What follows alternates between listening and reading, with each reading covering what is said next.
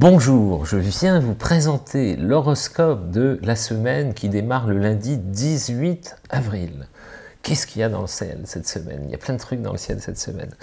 La, semaine démarre bien, mais normalement très bien même pour mes signes de feu. Pourquoi? Parce que le soleil, l'astre solaire, est encore dans le signe du bélier. Il démarre la semaine à 28 degrés du signe du bélier, donc il va bientôt partir euh, et passer en taureau. Il passera en taureau mercredi 20 à 2h26 en temps sidéral, en gros à 4h30 du matin, et quitte le bélier ici chez nous en métropole pour euh, aller en taureau. Mais euh, jusqu'à mercredi 20 au matin, euh, jusqu'à au lever du, soleil à peu près, hein, mercredi 20, mes signes de feu c'est bon pour vous. Hein. S'il y a une dernière ligne droite, un objectif dans le collimateur, un, coup de collier à produire, à fournir pour euh, faire aboutir quelque chose qui est sur le feu, qui est en cours, qui est dans une dynamique un peu, euh, passagère, qui, mobilise votre attention, euh, démarrez ce début de semaine en déployant tous les efforts, l'énergie possible pour y arriver, tout simplement.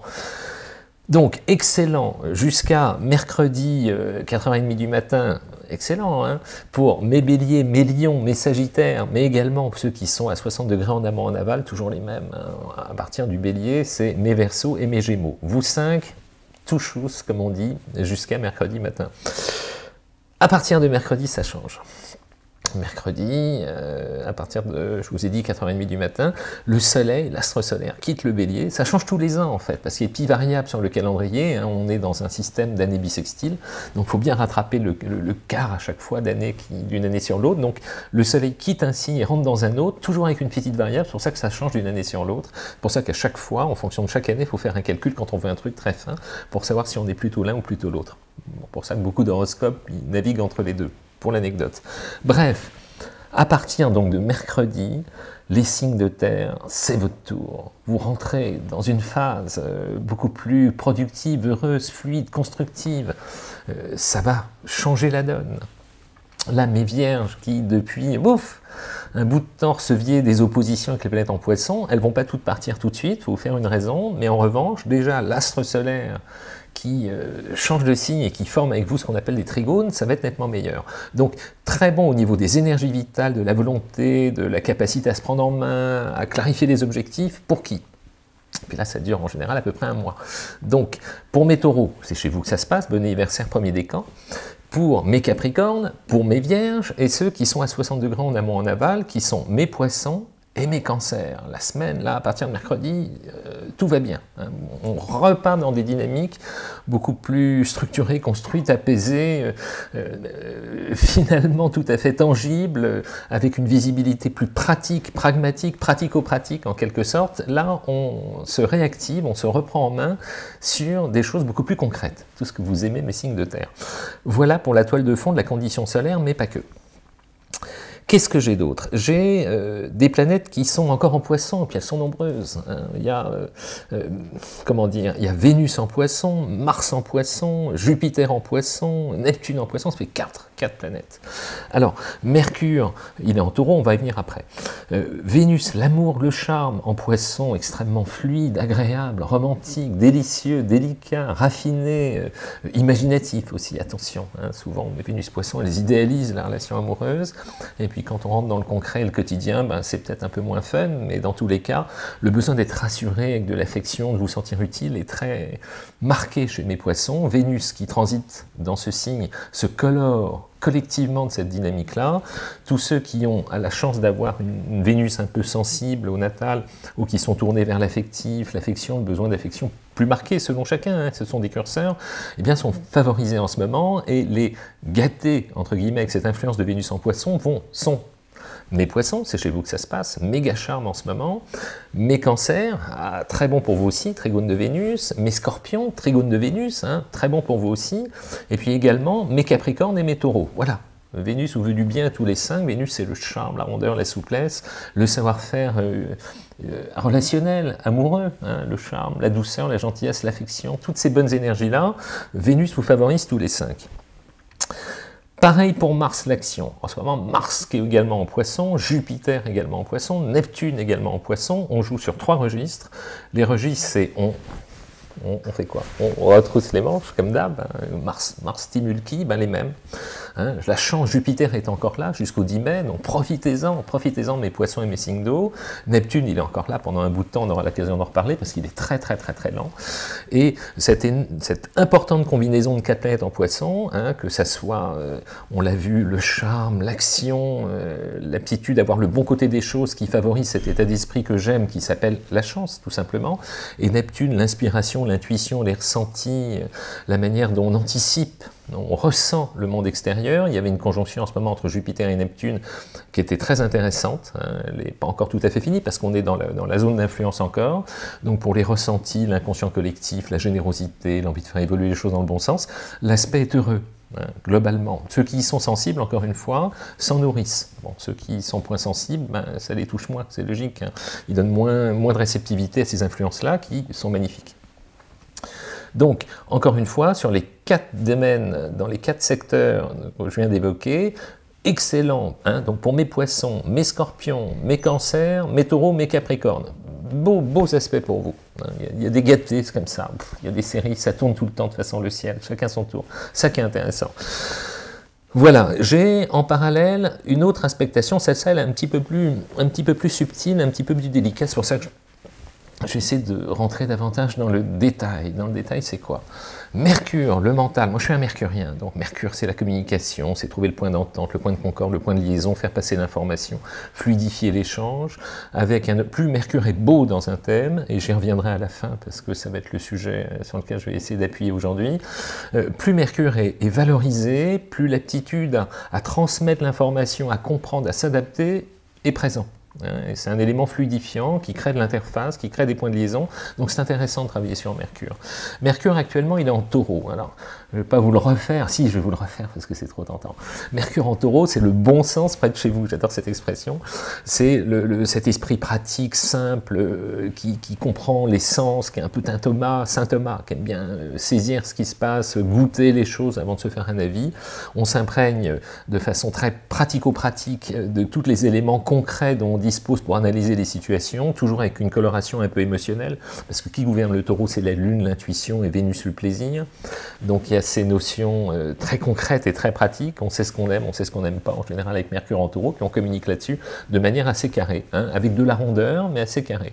Et d'ailleurs, on le sait, hein, mais Mercure taureau, il y a une chose qu'il ne supporte pas, c'est qu'on lève le ton sur eux, parce que ça, les crie, ça les fiche, parce qu'on peut, on peut communiquer avec douceur. Bref, Mercure veut beaucoup de bien à mes taureaux signe de terre, à mes vierges, signe de terre, à mes capricornes, signe de terre, et les deux qui sont à 60 en amont en aval, qui sont mes poissons, excellent pour la com en ce moment, comme pratique, et mes cancers, pour exprimer les émotions, c'est pas mal non plus.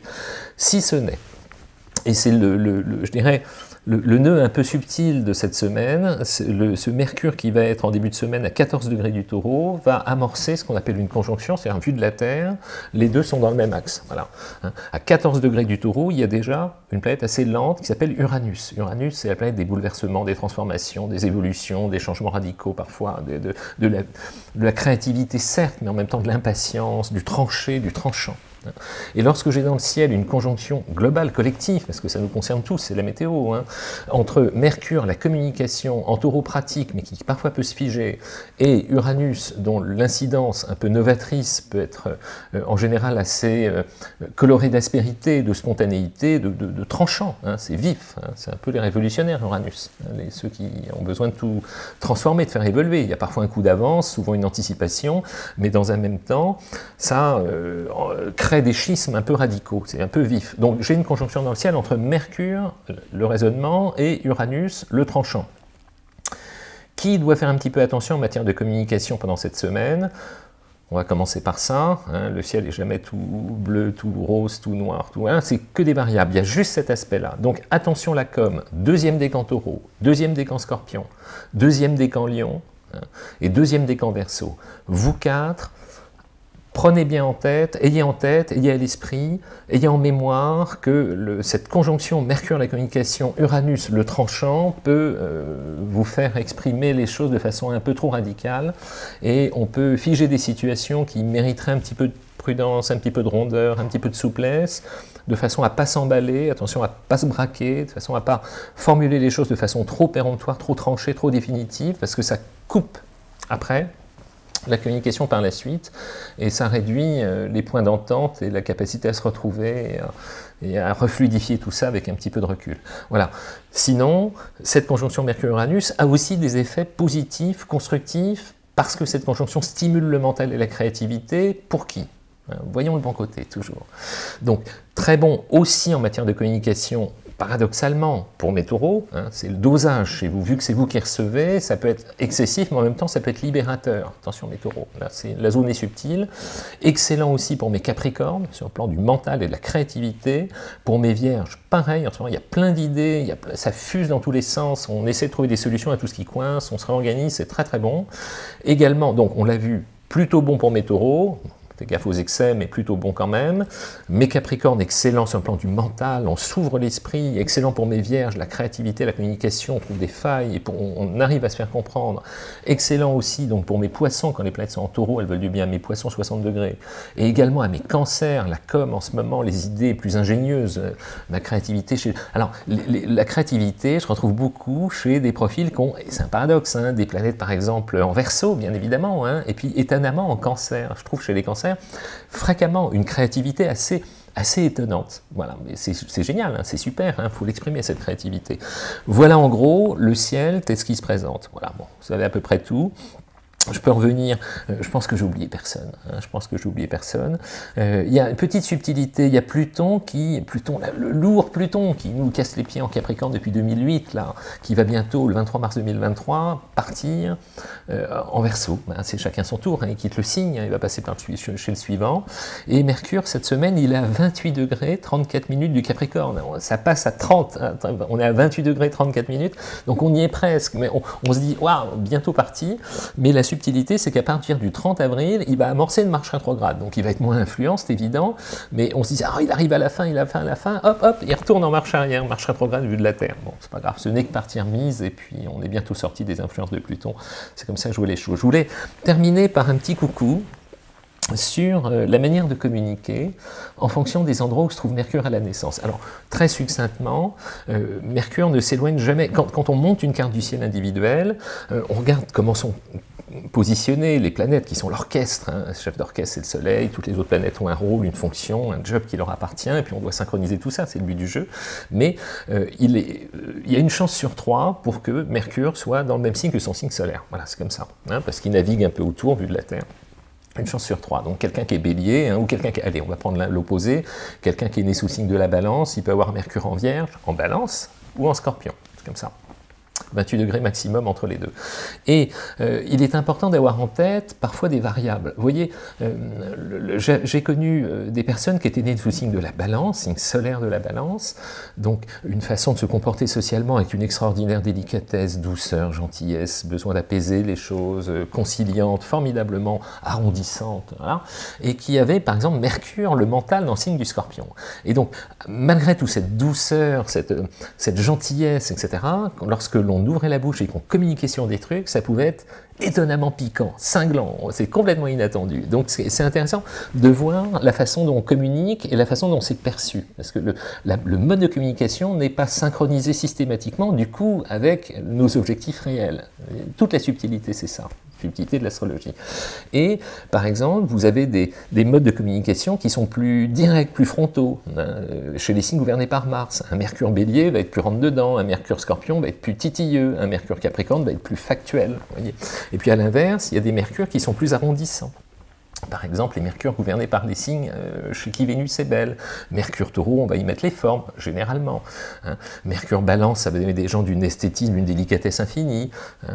Mercure poisson, ça va être de la douceur. Mercure cancer, ça va être de la demi-teinte, du pastel, pour tout ça se fasse en douceur, etc. Donc c'est important de voir la communication, comment elle s'effectue. Par exemple, Mercure en lion a facilement une vision globale des situations, ce qui fait que quand on lâche l'information, comme Mercure en lion, ils ont compris très vite la, la, notion essentielle, ils n'ont pas toujours l'inflexe de dire, mais ceux qui sont autour, ils ne comprennent pas de la même façon, l'escalier n'est pas toujours monté euh, étape par étape, moi je vois tout de suite le global, mais on oublie que les autres pas toujours, donc il faut être pédagogue.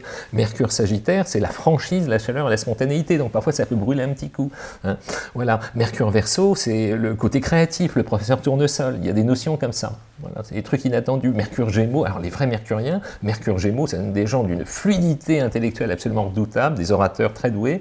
Mercure en Vierge aussi, lorsqu'ils ont pris un peu d'assurance, donnent des profils qui ont une capacité assez étonnante à être carrés et très précis dans leur communication. Parfois trop, ils vous rencontrent pendant des heures. Je connais un peu le dossier. Voilà. Donc c'est chaque Mercure est différent et c'est hyper intéressant de savoir où il est placé à la naissance. Si un jour vous avez l'occasion, ça vaut le coup de regarder. Bon, allez, voilà, c'est un petit horoscope. Euh, merci de vos messages, de vos gentils commentaires, de vos abonnements, de vos partages, tout ce qu'on aime. Je vous prépare plein de trucs. À bientôt, très vite. Merci.